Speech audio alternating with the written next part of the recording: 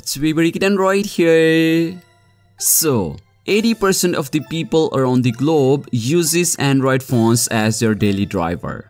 And when we talk about Android smartphone, the first company that comes in our minds is Samsung. As Google has relied too much on Samsung to develop the Android ecosystem. And over the past 3 years, Google and Samsung signed many partnerships in order to boost Android apps and increase their appearance on the Galaxy devices.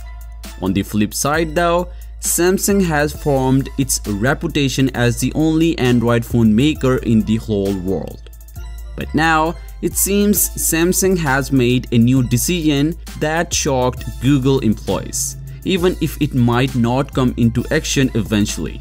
So yeah, according to a past report, Samsung is now considering changing its default search engine in the browser to Microsoft Bing from Google.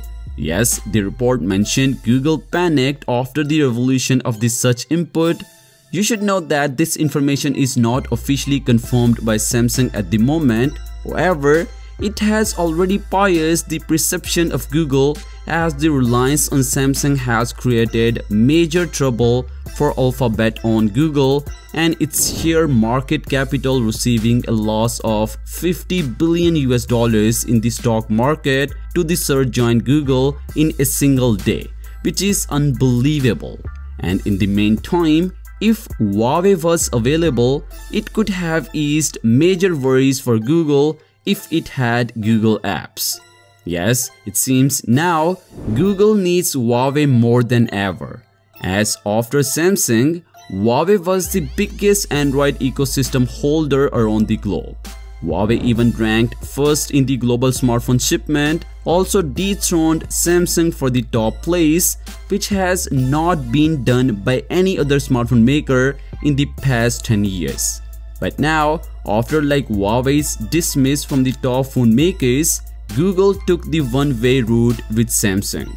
However, relying too much on Samsung is now causing backfire for the US company and Google might surely miss Huawei in these hard times. So yeah, what do you think about it? Do you think Google might recall Huawei in this situation? If yes, let me know in the comments down below and as always, I'll catch you guys in the next one. Peace out.